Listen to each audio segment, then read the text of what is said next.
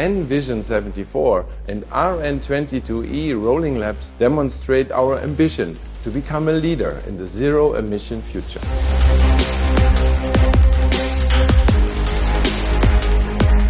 With Hyundai Motors Rolling Labs, we are testing and verifying the company's advanced technologies to apply them to future production models.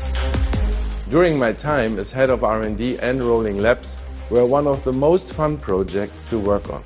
The pure electric RM20E was made to help us understand and test the next generation of electrified high-performance cars with a power of 800 horsepower.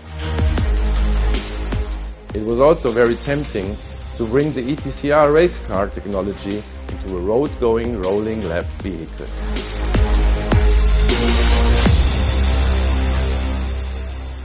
The next step is the RN22E.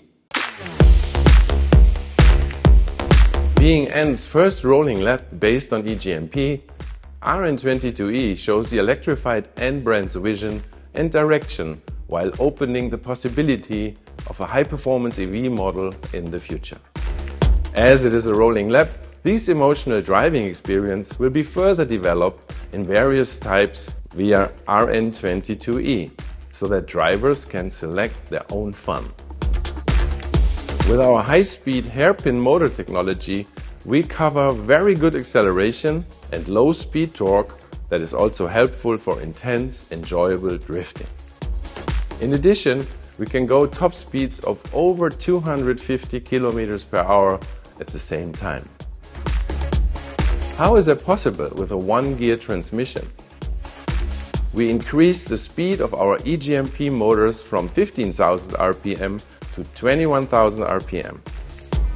It is quite challenging to manage such high-speed motor for mass production with excellent quality, good NVH and high durability.